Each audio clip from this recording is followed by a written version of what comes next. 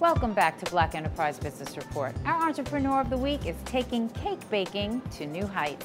Correspondent Shannon Lanier shows us how.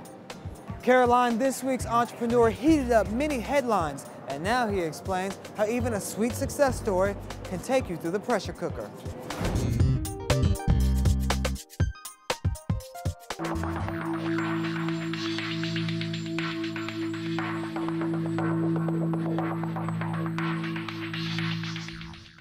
Doing something that you really have a passion for and you like, you never get bored, you never get tired of doing it. Mm-hmm. You constantly expand how to do it differently.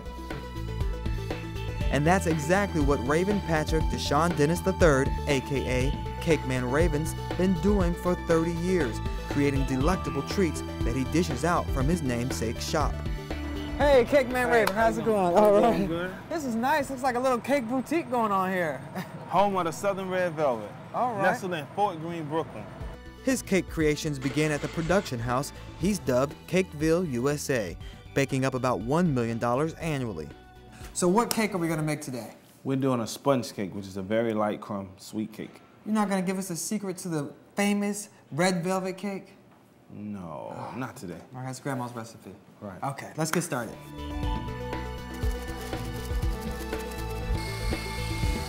With those first ingredients learned from grandma, this South Carolina native started his company right in his own kitchen, but since has created a niche for himself with stunning constructions. We created the world's largest sculpted cake, 600 square feet. Wow. It was sculpted in the shape of the coat of arms of the fraternity. It was made out of red velvet. All right, now it's time for the oven. And we put it in at a 325 degree oven for about 35 minutes. All right. While Cake Man's business has been on the rise, he hit an obstacle last year with disgruntled employees and when New York's health department shut him down for 28 hours. When you check the place out downtown and you see what's there, the product comes already packaged, already boxed.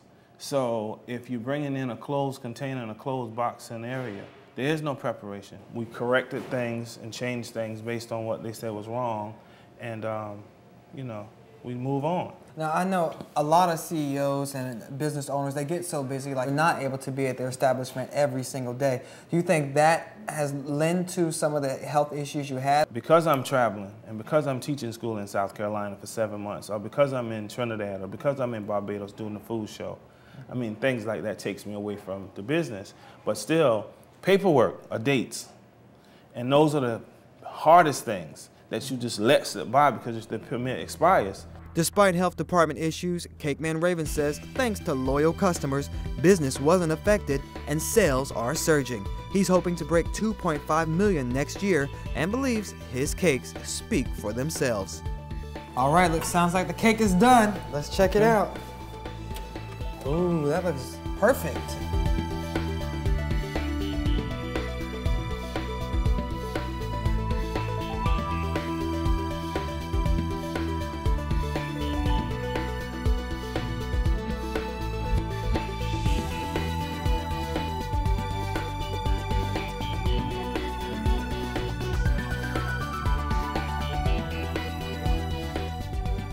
Amen. The scripture is written, the book is done. I think I did pretty good for my first big cake. I believe you did. Thanks, Shannon. And if you know a small business owner who could be our next entrepreneur of the week, send us an email. And don't forget to follow Shannon on Twitter at Mr. Shannon Lanier. And still to come, I've got great vacation hotspots you don't want to miss.